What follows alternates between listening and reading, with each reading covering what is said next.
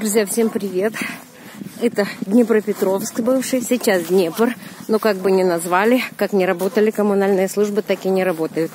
Вчера целый день у нас шел снег, потом шла крупа, потом, потом, э, после обеда проезжала техника снегоуборочная с поднятым ковшом. Это типа вы меня увидели, дайте денег, я уберу. Сегодня ну, я думаю, что городские службы отчитали, что они прогнали снегоуборочную технику. Только что выталкивали две машины с нашего сектора. И теперь гребемся мы. Благо, люди все могут взять лопатки.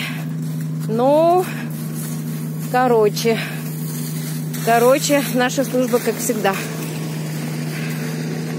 как всегда. Главное, что проехал, подняв ковш. Хотел денег. Выбраться не можем. Сейчас будем пробовать. Филатову хочу отправить. Говорят, вчера проезжал, снегоуборочная техника проезжала и поднял ковш, чтобы его все увидели.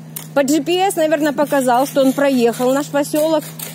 Вот, все везде проехал. Но дайте денег. А Валерка хочет туда на место? Он пробовал и туда, и сюда. Да, да, да, да. А там у него все засыпано. Это, Ну, он лопату взял, он разгребет. там разгребать. Не работают коммунальные, то будем работать мы. А что сделаешь? Они деньги только берут.